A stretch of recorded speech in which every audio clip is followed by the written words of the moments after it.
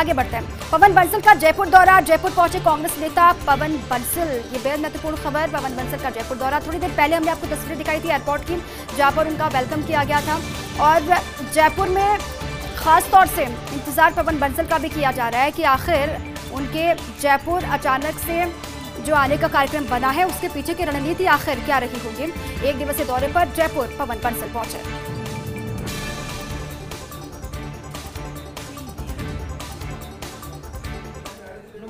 मालूम नहीं जी मेरा तो एक्चुअली वो प्रॉपर्टीज़ जो होते हैं पार्टी की उनके प्रति थोड़ा सा प्रेसिडेंट्स जो हैं यहाँ के पीसीसी के प्रेसिडेंट उनसे बात करने के लिए है।